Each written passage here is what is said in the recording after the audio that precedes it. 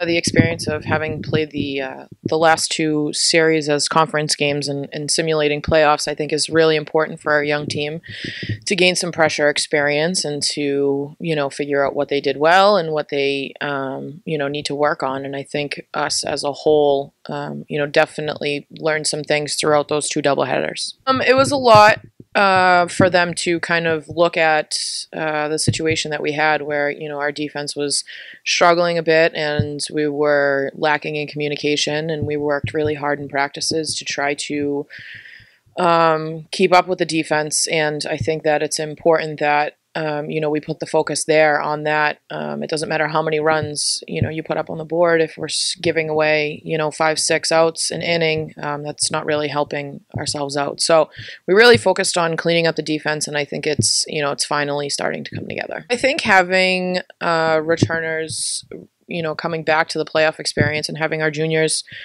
be a part of um, the LEC playoffs for the third year in a row, I think is extremely important for our underclassmen. You know, our, our sophomores, as much as they had a great experience last year, this is a very different year and, and this is a very different team. So the expectations and, um, you know, the way that they communicate and all of that stuff is very different. So they have to really um, rely on the people that have been in those situations before. And, and luckily, you know, our juniors are doing a really great job of trying to let everybody know, hey, listen, you know, we're at zero zero. Everybody's at zero zero. It's an even playing field, and you know, this is where we really, you know, have to start grinding.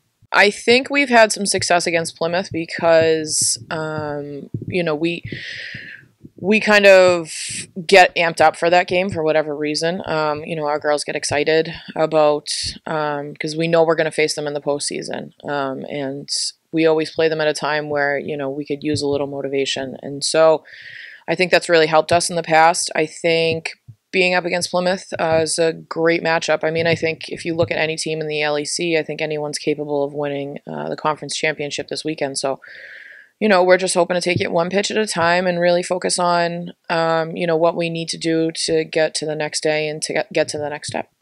Us being the sixth seed and us playing, um, you know, having done well against some of the higher seeds in the conference, um, I think is very helpful because we, you know, when we say we can beat anyone in the conference, we can beat anyone in the conference, you know, there's some validity to that. And, you know, having our, our young team, you know, buy into the idea that yeah, we really can beat anyone, and it's not just coach and the coaching staff saying, you know, we can we can beat anybody, we can beat anybody. Um, you know, once they start actually believing that, that's when it starts to come true. So, um, you know, it, it, as soon as everybody gets on board um, with that, you know, whether it's this weekend or over the summer or the weekend after, um, you know, once everyone gets on board with that, you know, we're we're gonna make a run for it. Being positive, uh, I think, is one of the three things that we would need to walk away with the championship.